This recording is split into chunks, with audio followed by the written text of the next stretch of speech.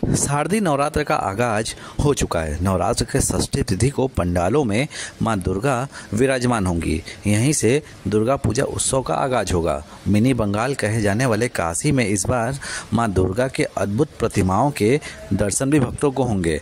भोले की काशी में इस बार काजू, किशमिश, बादाम तिल और गट्टे से माँ दुर्गा की अद्भुत प्रतिमा तैयार हो रही है। केदार घाट के करीब सजने वाले पंडाल में देवी के इस अद्भुत स्वरूप के दर्शन तीन दिनों तक भक्तों को होंगे।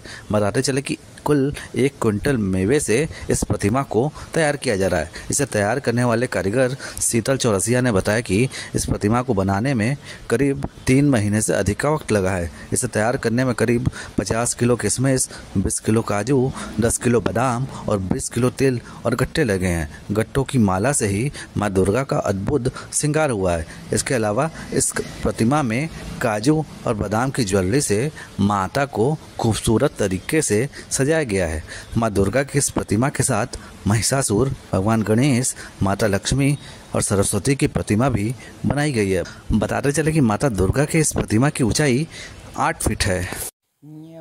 काजू किशमिश की मूर्ति पाँच मेवा बना है, जिसमें कि काजू का प्रयोग हुआ है, किशमिश का प्रयोग हुआ है, पिस्ता बादाम का प्रयोग हुआ है, मखाना का कमलगट्टा का और तिल का।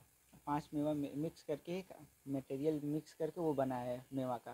लगभग कितना कितना किशमिश आपका चालीस के आसपास लग चुका है और उसी हिसाब से दस किलो बादाम हो गया और ऐसे ऐसे करके मतलब अभी तक में पचास साठ के ऊपर चला गया सब मिलाकर।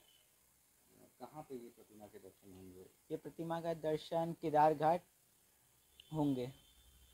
कितना वक्त लगा इस प्रतिमा को बनाने में? प्रतिमा को बनाने में लगभग तीन महीना तो लग ही गया।